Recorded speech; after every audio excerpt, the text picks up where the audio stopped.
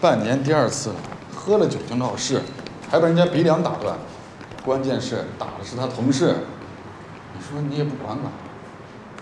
哎张警官，他们家属这次要多少钱呀？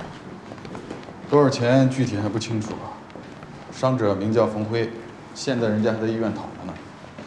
这么着，你去医院看看他，该赔多少是多少，给人家说说好话，给你道歉。要是人家不追究的话，就不用拘留。你说你这大铁格子，还让孙志军给你撂倒，你丢不丢人？君子动口不动手。你可拉倒吧，就是熊。你好，是冯大哥吧？啊，是。我是孙志军的家属，实在不好意思。哎，是我，你好，你。赶紧走！还敢到医院来？拿着你这破水管！酒疯子，无缘无故上来就打，把我老公鼻梁都给打断了。他是以为打人不犯法吗？我告诉你啊，派出所告诉我了，我可以去法院告他故意伤害，你们就等着吃官司吧。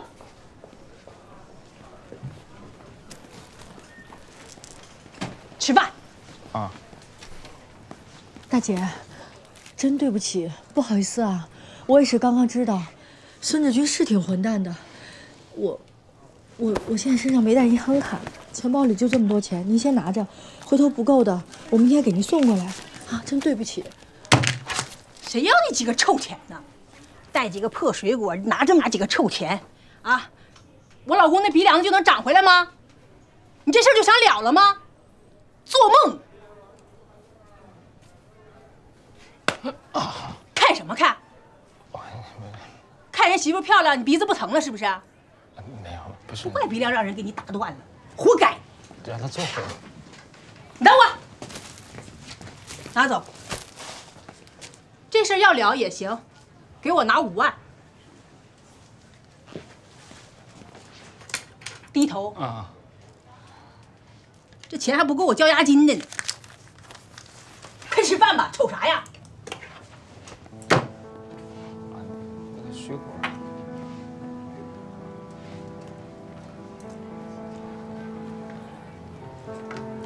上医院？这要在老家，我早挠他。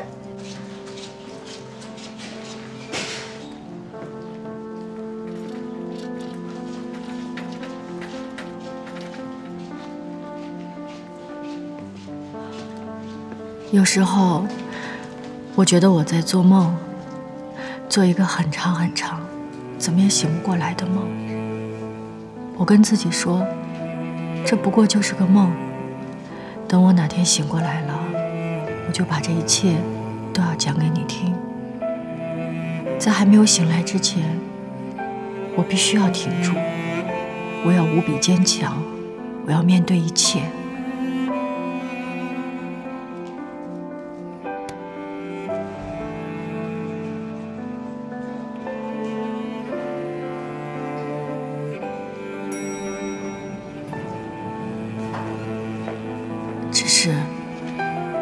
我不能面对你，因为面对你，我就不得不承认，这不是梦，是现实。